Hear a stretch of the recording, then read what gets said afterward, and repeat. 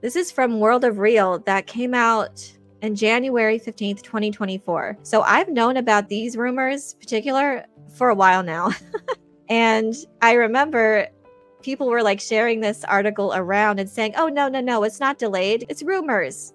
Don't you can't put much stock into that, calling him out basically for this. These were sources that he was hearing and I've shared a few articles from World of Reel and I've seen some pretty good reporting and some insider information that did prove accurate. And here's another one that we could add to World of Reel here. So this was in January. So uh, the writer of this article says, I'm usually not really keen on looking for Star Wars intel, but a well-informed source is giving me additional details on the current status of this film, the Rey film, and it's not good news.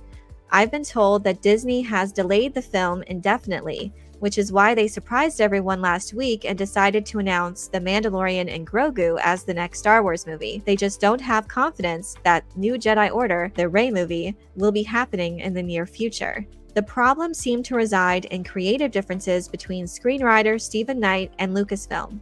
I'm told that a draft had originally been written for the film, but Lucasfilm gave him so many notes that he had to start from scratch. To make matters worse, there is the possibility that Knight might not be staying on board the project. His frustrations have grown, so he's put Star Wars on the back burner and is now focused on the screenplay for his Peaky Blinders movie, which is supposed to go into production in the fall, which it did. So this actually turned out to be accurate that he's like, okay, I'm just going to pivot to a, a, project that is moving along smoothly. And they were able, he was able to work on that on the Peaky Blinders script, and they were able to move on with production because he already did his work for Lucasfilm and writing the script for them. He did it and he was going to move on to another project. But apparently, the rumors go that he was given so many no's that he would just have been writing a whole new script. And the article continues These issues with Knight come only two years after development on the film started, and various drafts had circulated with different writers, including Damon Lindelof from Watchmen and Justin Britt Gibson, both eventually exiting this untitled Rey Skywalker. Well, I hate saying that untitled Rey movie. Knight came aboard soon after. It was widely reported and believed that this Rey movie would be the first one to get released. and a May 22nd, 2026 release date had been announced last year for this. And I guess then they moved it to December, apparently. This past November, Ridley had insinuated that the next Star Wars film to be released theatrically was going to be hers. Things have clearly changed. Yeah, and clearly she's out of the loop there. Unfortunately, they're just stringing her along, and at least she's busy with other projects. Uh, Daisy Ridley is. She's doing other small films. She's doing promotion now for her new film Magpie. Before that, recently she did Woman in the Sea. She's been keeping busy, but she's doing like these smaller films, small indie films. Good for her because you can't be waiting on Disney Lucasfilm. It's amazing that Lucasfilm doesn't get this, that Kathleen Kennedy doesn't understand that people have other jobs, that they have a career, that they can't just wait around and like have them on retainer or whatever just to do your bidding. You pursued this person, you pursued Steven Knight after Lucasfilm had unceremoniously fired Damon Lindelof because they didn't like what he was doing. This is clearly so corporate. Creativity by committee. And I honestly don't know who would want to come on board this project at this point. I mean, they are building such a poor reputation for filmmakers and writers to want to work with them because clearly they have their vision and they have a story that they want to do. And I'm sure what he, I mean, he's a proven to be a great writer. Damon Lindelof and Steven Knight, these are talented individuals. Clearly, there's this environment where they are not able to have their vision, to have their creativity fostered which is insane to me now how much this has changed or how much only certain productions seem to be marred by this. Because how did The Acolyte get made? It is not a good story. It was so poorly written and conceived, and every department was subpar. But how did that get out the door?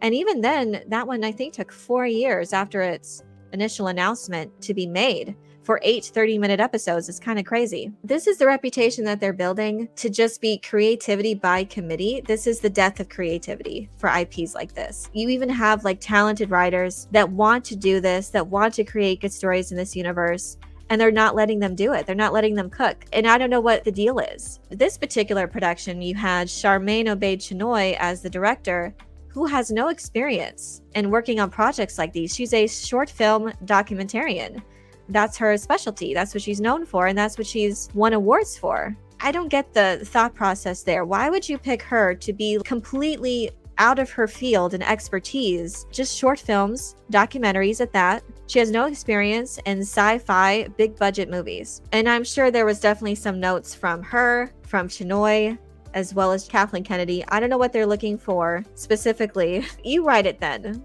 How about that, Kathleen Kennedy? How about you write it? You like to sit on your high horse and dictate creativity, and this is the result of you micromanaging creators. I don't honestly know if there's going to be someone who wants to come on board this environment to work with this because clearly they can't just do their thing. And I would much prefer someone with experience, someone who's had a great resume in writing good stories to have their shot at it, as opposed to someone who has no experience and so what was the acolyte she just did a russian doll? I mean there was no experience in a show like this and a budget like this. That doesn't make sense but how does that get made?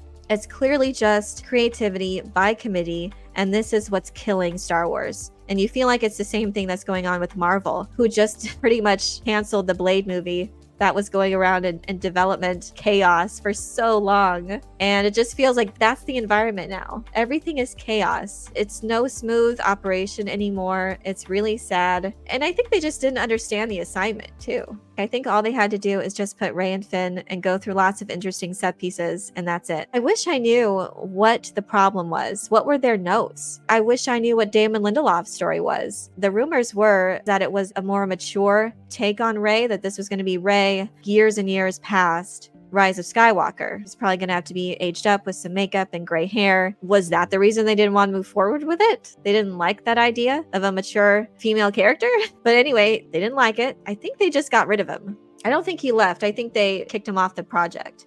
And this time around, he gave you a whole script and you're just throwing it out. It took time, I'm sure, to write, and he's got other jobs. You want to have these well known and established creators and writers and filmmakers involved in Star Wars, but you don't realize what it takes to work with such individuals. I honestly don't know what the environment is going on when it comes to Dave Filoni, also, because he's not there to talk about lore, to ensure canon he said his job was just to facilitate a creator's vision. So then what's happening then? Why can't these creators get their vision on screen?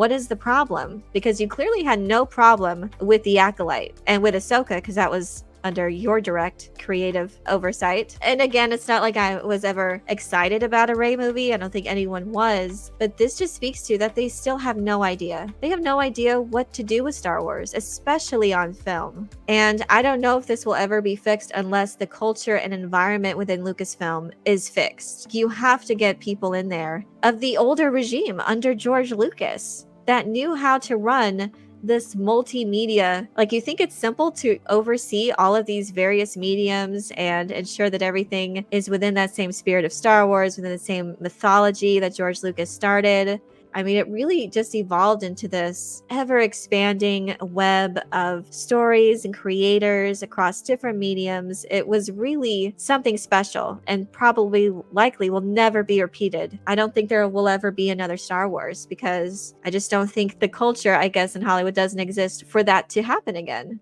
Because you really need to have nerds in charge. And I don't think they want to do that.